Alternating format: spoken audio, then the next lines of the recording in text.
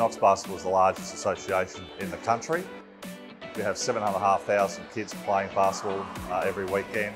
Uh, we have 4,500 senior domestic players playing.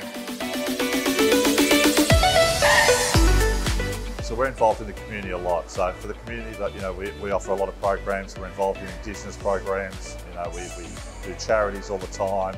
That's all our focus is, is community. So we probably get about five or 600 new kids every year.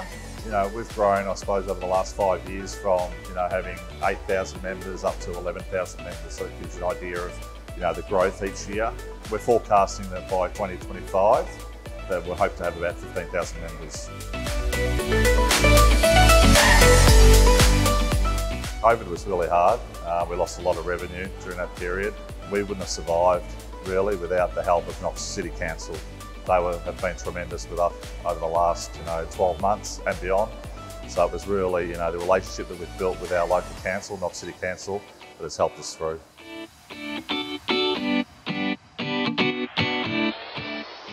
when we were shut down with COVID, you know, it's not an essential service, so the kids weren't able to play. Our athletes for the NBL One um, weren't considered uh, elite, so they weren't able to train. So we ran a lot of um, uh, mental health programs, you know, online um, through the SALT program, and we found that you know that was a really good way to boost up the kids' mental, you know, well-being, and just kept them focused on coming back to basketball. So seeing them transition from that back into the stadiums playing basketball, you, you could see that that was really good for their, their for their well-being.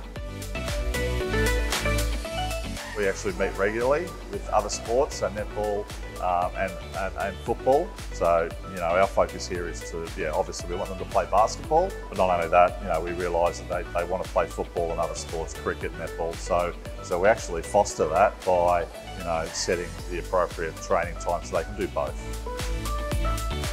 basketball's supposed to be fun and you know when COVID hit you know the kids were unable to do that so you know when when we came back after COVID um, you know, the happy faces coming through the place was the best thing that, you know, that we could all ask for.